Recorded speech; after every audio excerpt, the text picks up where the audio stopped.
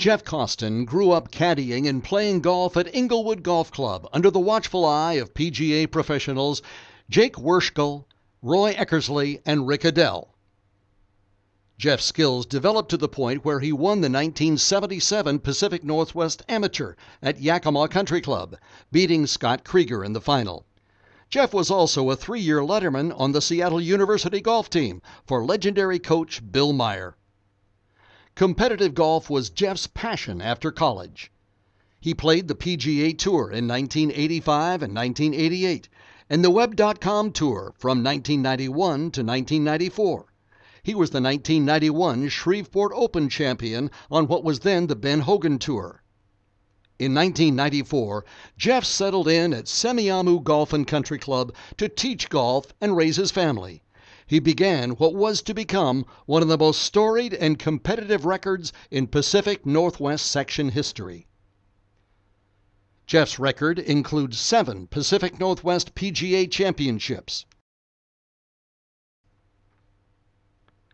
and four Washington Opens. With his victory at the 2010 Washington Open, Jeff eclipsed Bob Duden's record of 17 section majors. Jeff has also won three Rosauers Open championships, two Northwest Opens, two Oregon Opens, and the Al Giusti Memorial. He is the only man to have collected all six Pacific Northwest section majors. With all these victories, Jeff has earned Player of the Year honors 12 times and Senior Player of the Year each of the seven years he's been eligible.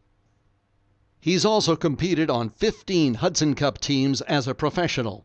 He's never played in the senior Hudson Cup matches because he keeps qualifying for the flat belly matches.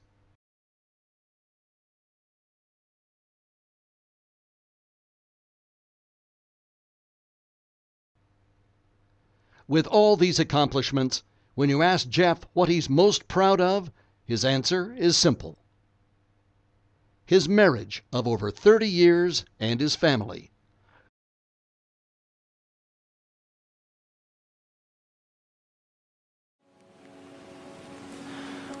My wife makes me better. Like she's really God's gift to me. She, uh, she has shown me unconditional love. And all has been for me. And she's my best friend. And uh, we're going to run across the finish line together hand in hand. What more can I say?